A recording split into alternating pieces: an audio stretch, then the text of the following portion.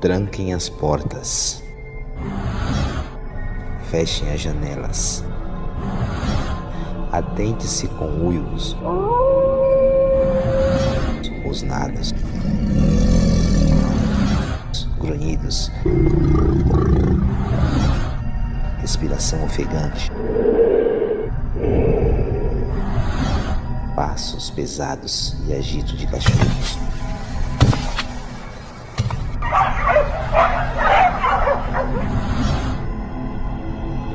Pois um ou mais lobisomens podem estar na área.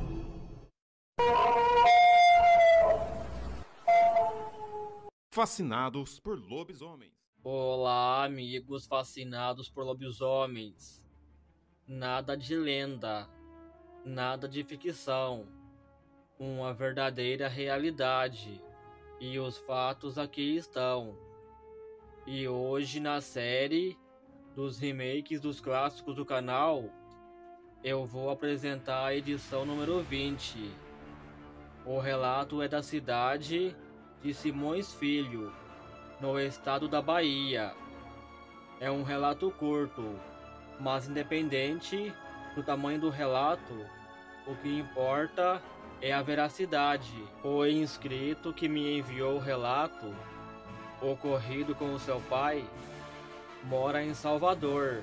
Antes de apresentar o áudio do pai dele, ele me disse por escrito que seu pai não soube explicar com detalhes, como da última vez que ele contou para sua família, e que vocês irão perceber que ele não sabe se expressar tão bem, mas porém as suas palavras são sinceras. Na noite do fato ocorrido, a mãe do inscrito estava grávida dele e sua avó e seu tio, que na época era criança, também confirmaram esse fato.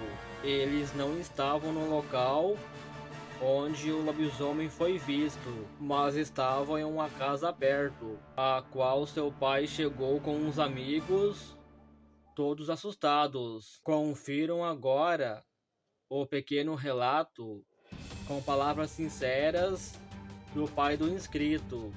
Boa noite, meu nome é Edson. Fui pescar no interior de Simões Filho, que chama Gauss Comum. Nós estávamos pescando dentro de uma matagal, eu com mais oito pessoas. Aí pescamos bem, normal.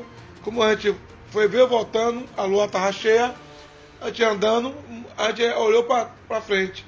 Tinha um pé de ave muito grande e a lua cheia. Quando a gente olhou, a gente viu tipo um cachorro, um lobo. Só que a gente não viu que era um lobo, não era um lobo, que era muito grande e com olho grande e vermelho, igual a brasa. Quando a gente olhou de longe e viu, aí o, o colega falou, é um lobisomem.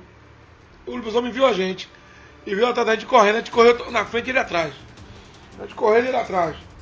A gente se rasgou a roupa toda no cansanção, no espinho. Quando chegou na linha do trem, ele, ele de longe olhou pra gente. Aí subiu subiou igual, igual, igual um lobo, mas um homem, em pé andando, e voltou para Matagal de novo. A gente se salvou por pouco. Quase a gente morreu. Bem, amigos, espero que vocês tenham gostado do relato. Até o próximo vídeo.